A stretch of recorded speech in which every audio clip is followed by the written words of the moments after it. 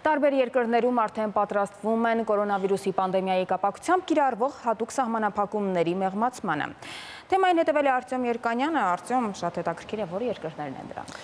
Եվրամիությունում արդեն կան երկրներ, որոնք սկսել են մտածել այն մասին, թե երբ եւ ինչպես են, հա, այդ հետզետե ազատվելու, հրաժարվելու այդ հատուկ ռեժիմից եւ առաջին պետություններից էին Ավստրիան, Դանիան եւ Չեխիան։ Բայց հետաքրքիր է, որ յուրաքանչյուր այդ պետությունում յուրովի են պատկերացնում այդ մեխանիզմը, պլանը եւ տարբեր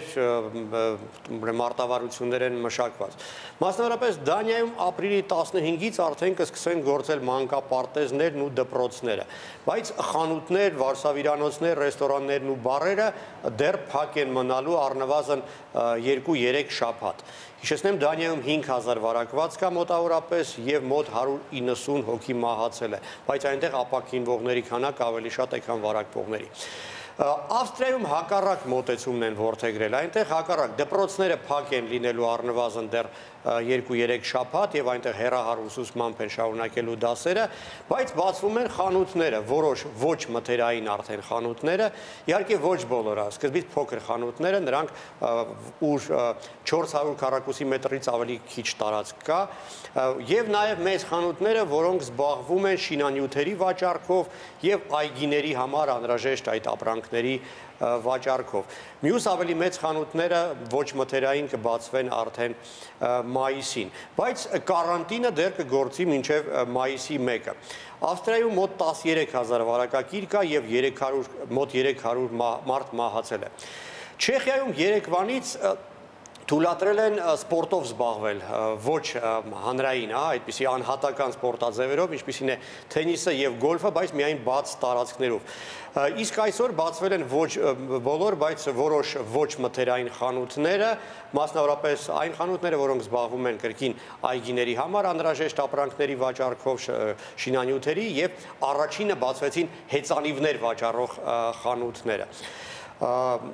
Նաև Գերմանիայում են մշակում ծրագիր, դեռ չի հրապարակում այդ ծրագրի բովանդակությունը,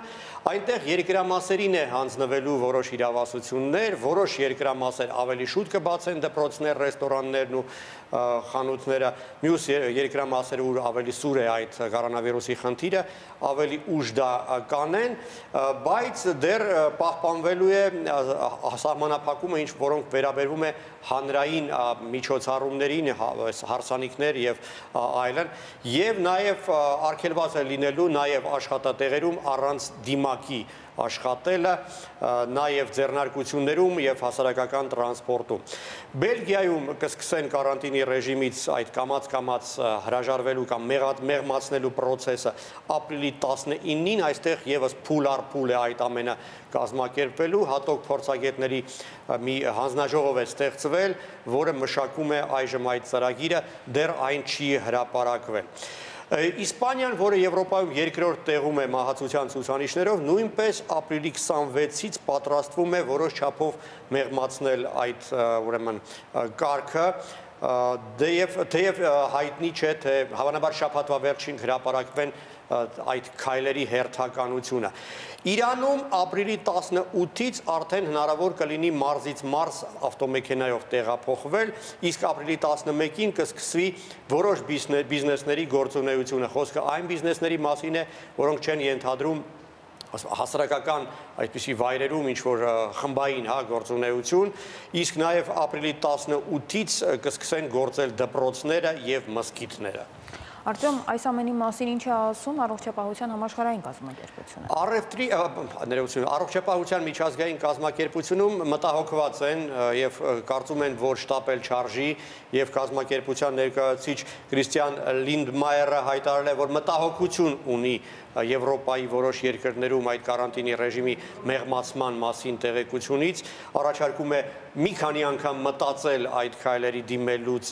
առաջ, քանի որ այդ ամենի հետևանքով կարող է սկսվել երկրորդ փուլը այդ վարակի։ Դե պարզ է, որ երկրները, որոնք արդեն գնում են այդ մեղմացման, անում են դա ոչ թե այն պատճառով, որ վտանգ այլևս չկա, այլ պարզապես գիտակցում են, որ այդ միջոցների այսպիսի խիստ սահմանափակումը կարող է ել ավելի մեծ բացասական հետևանքներ ունենալ եւ մարդկային կյանքերի իմաստով եւ տնտեսության վրա ազդեցության իմաստով, քան